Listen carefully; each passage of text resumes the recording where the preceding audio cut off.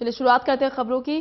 छत्तीसगढ़ में लोकसभा चुनाव खत्म होने के बाद कांग्रेस पार्टी एकजुट होकर अन्य राज्यों में भी प्रचार प्रसार में जुटी हुई है।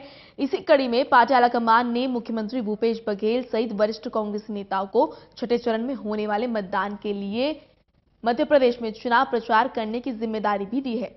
इसी सिलसिले में मुख्यमंत्री भूपेश बघेल भोपाल के लिए रवाना होंगे और जहाँ चुनाव प्रचार भी वो करेंगे।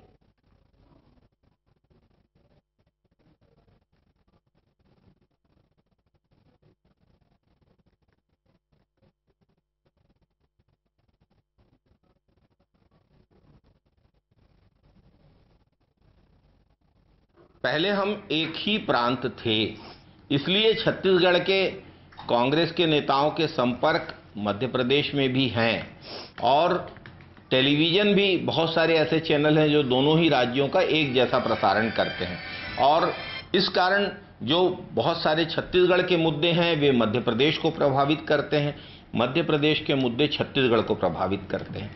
प्रदेश कांग्रेस अध्यक्ष भूपेश बघेल सहित कांग्रेस के नेताओं को मध्य प्रदेश में अंतिम चरण में ताकत झोंकने के निर्देश पार्टी नेतृत्व से मिले हैं और हम सब जाकर मध्य प्रदेश में कांग्रेस उम्मीदवारों के लिए प्रचार में भाग लेंगे।